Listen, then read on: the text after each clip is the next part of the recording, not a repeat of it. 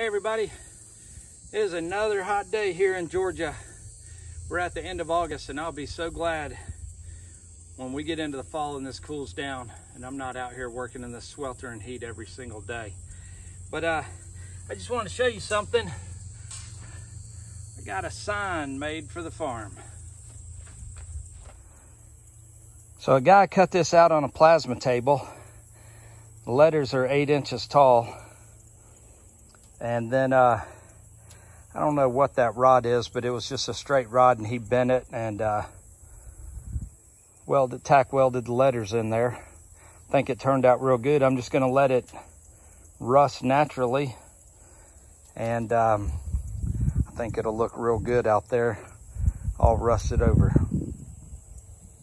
I just kind of wanted to give you a brief history on how I came up with the name Windmule Acres and uh, and why I, why I decided to name my farm in, at all. A lot of people don't; they just call it the farm, or it'll be a family name or something like that. And I wanted to name it something. I just thought it was fitting. It was not big enough to be a farm, and it was not big enough to be a ranch. Uh, only being 25 acres, so I figured it needed to be something acres. And so um, I knew I had the mules and I knew I wanted a windmill and I wanted to incorporate those into a logo.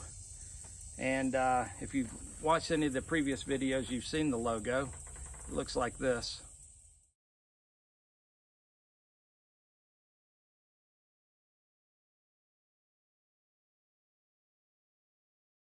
Once I drew that logo out on a piece of paper, I sent it over to an artist and had them digitize it for me and now I can uh, put it on t-shirts and stuff like that. But um, anyway, I came up with it because uh, I kept saying windmill and I had the mules. And so I just incorporated the mules into the mill and just started calling it Windmule Acres.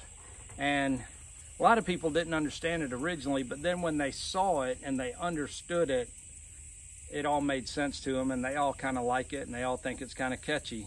So uh, this guy that uh, I know, he uh, made this for me about six months ago and it's been sitting over in the corner of his shop and he sent me an email, told me he had it for me and for me to come over there and get it. So I went over there and picked it up and I'm gonna hang it up out here on the arch. So let's get to it. So I've got the center of this marked right here and 24 and a half inches out, I've got a an eye bolt with a carabiner on it. And then 24 and a half inches out, we got another one. So what we've got to do is we got to get up here and find the center in between where the braces meet the top horizontal beam and then we'll go to the center and then we'll measure 24 and a half inches out and put an eye bolt in. But we've got to get rid of this wasp nest first. There's a pretty good sized wasp nest up there. Had about 15 red wasp on it. But uh, nothing a little bit of hornet spray won't take care of. All right, so we got the eye bolts in. They're 24 inches from the uh, knee braces. So they're perfectly spaced. We'll just raise the uh, sign up now and uh, hook her on.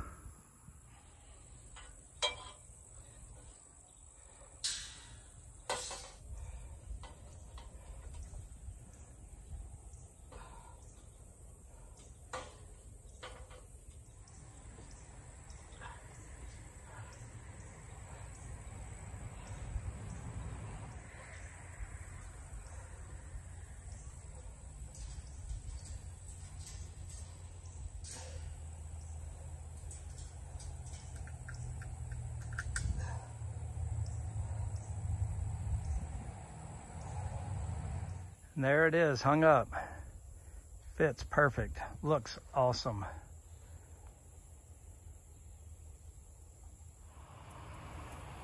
And we're 14 feet from the bottom of the sign to the ground. So where it says L in the word mule, um, That's the center of the sign, and it's 14 feet from there. So if anybody hits it, it will, it's on a pendulum, so it'll swing out of the way. Well, that didn't take too long, and I think it looks awesome. Great addition to the farm, and uh, super excited to have it up. We'll be having the barn and the pole barn built in October, and uh, place is just coming along. Super excited about it. I appreciate you following along, and if you haven't done so already, think about liking and subscribing if you would. It'll help me out, and I appreciate it. We'll see you on the next one.